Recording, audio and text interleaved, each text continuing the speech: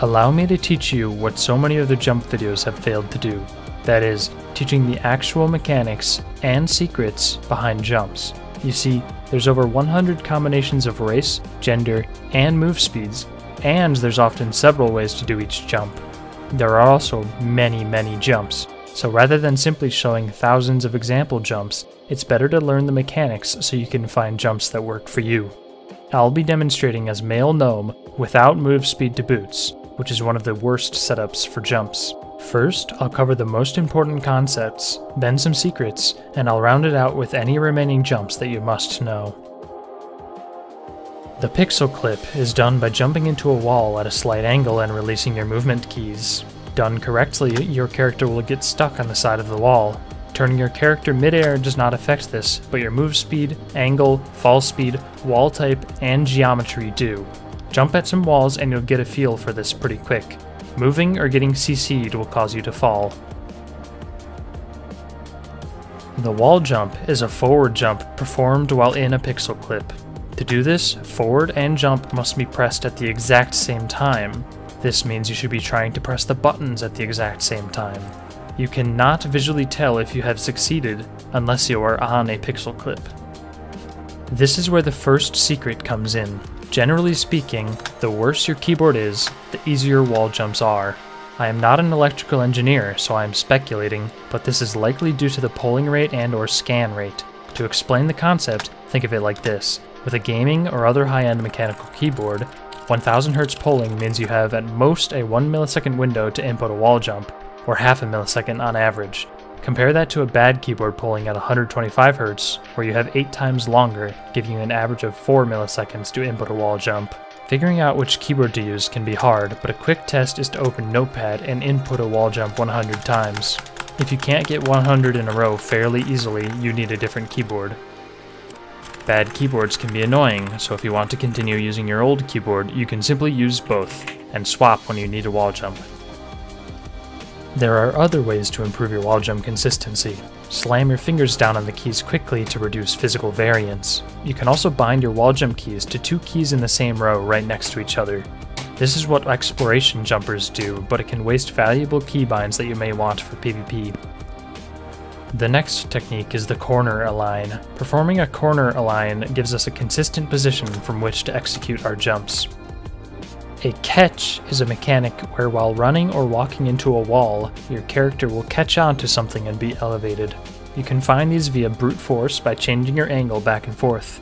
These can give you that extra bit of height you need to make a jump. Be careful though, as there are often many different catches right next to each other. For example, here, there are possibly around 10 catches, and the ones to the right do not work for this jump. The next secret is the lineup, or how to aim your jumps. This can be done simply by learning the center of your screen based off the center of your character's head, but this is imprecise. A better method is to use an on-monitor crosshair, which can easily be created with a piece of tape, a pencil, and any shooting game with an accurate crosshair. Alternatively, you can use an add-on to draw a line up the center of your screen in-game.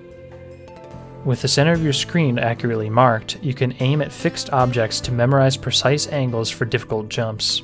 Your vertical camera orientation does not affect jumps. Strafe jumps can also be used instead of forward jumps if you offset your camera 90 degrees accordingly. Let's look at three methods for the Alliance short graveyard jump. The safe method is done by performing a corner line, one wall jump, and a neutral jump. This is the most common method and the lineup is not precise. The fast method is the same, but replacing the neutral jump with a second wall jump.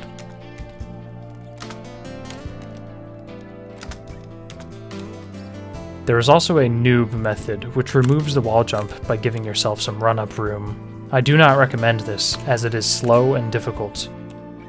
The steep pixel clip can be achieved by aiming slightly offset from perpendicular into a wall. When slowed, you don't have access to your normal jumps, so in some cases there are alternative jumps that use a steep pixel clip, like here.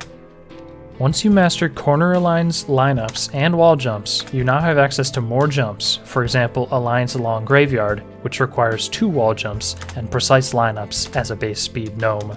You can now also do Horde Short Graveyard by performing a corner align and a wall jump as your first jump, with a precise lineup. This is a very difficult jump, given it only takes a tiny alteration to mess up your corner line, your lineup, or your first jump.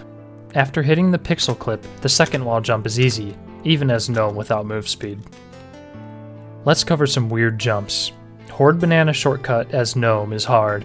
To do this, walk up as high as you can and aim for the corner up in the sky. Depending on where you begin your first jump, your lineup angle and pixel clip will be different. Therefore, your next jump will also vary, so aim to the specific point where you can run and wall jump. Only certain pixel clips will allow the second jump to succeed. Other races may have alternative strategies that may be a lot easier and faster.